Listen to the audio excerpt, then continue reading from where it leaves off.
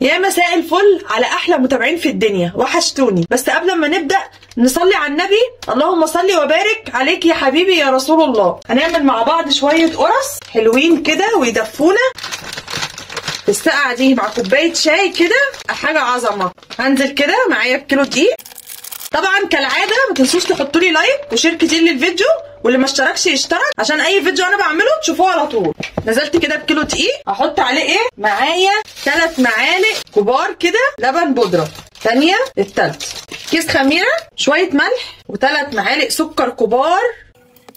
حط معلقة كبيرة baking powder كده حطينا كل المكونات الجاف على بعض. الخميرة والسكر والملح واللبن البودرة وكمان ال baking powder هقلبهم كويس وأكون مجهزة معايا مية دافية. تعملي بقى شوية قرص كده في السريع. كيلو الدقيق ده يعمل لنا كمية حلوة من القرص.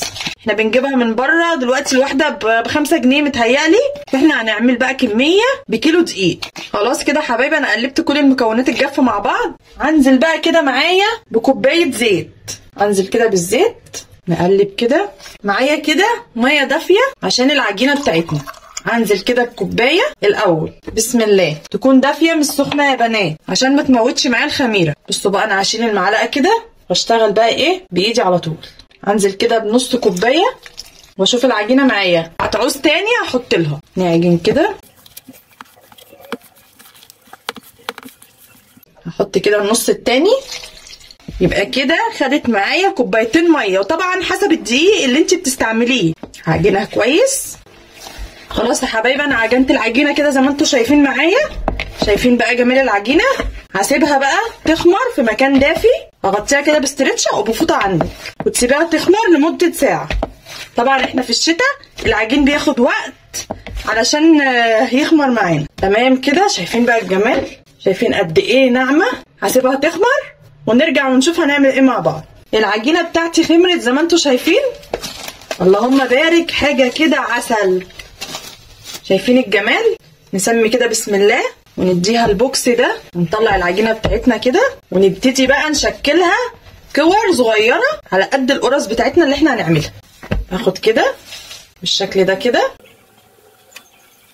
هنقرصها كله بنفس الحجم ده كده.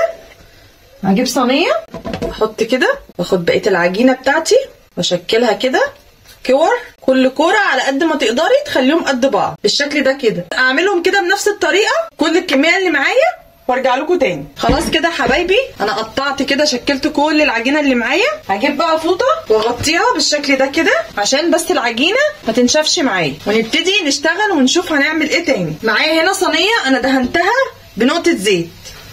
ومعايا هنا جبنة عشان أنا هحشيها النهارده جبنة مش هحشيها أي حاجة تانية. إحنا عايزينها إيه؟ تبقى حادقة مش عايزينها حلوة. هجيب كده هبدأ من أول ما أنا اشتغلت.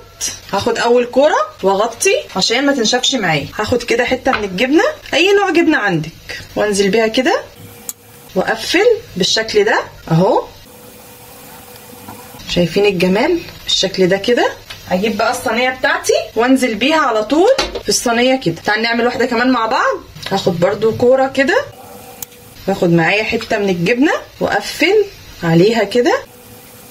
عشان بس الجبنة ما تخرجش منها. شايفين الجمال؟ أحلى قرص دي ولا إيه؟ لازم تجربوها. هخلي ما بين كل واحدة والتانية مسافة عشان برضو هسيبها شوية ربع ساعة كده تخمر قبل ما ندخلها الفرن. هنعمل بقى كله بنفس الطريقة كده. أوديكي فين يا شطارة؟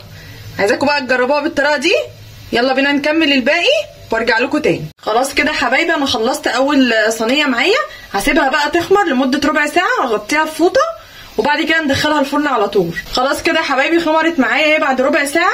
هبتدي بقى ادخلها الفرن يكون الفرن أنا مشغلاه من قبلها يبقى سخن لازم يبقى درجة الحرارة فيه عالية. هندخلها ونرجع ونشوف بعد ما تطلع من الفرن بإذن الله. شايفين بقى الجمال ولا ريحة الخبيث في البيت؟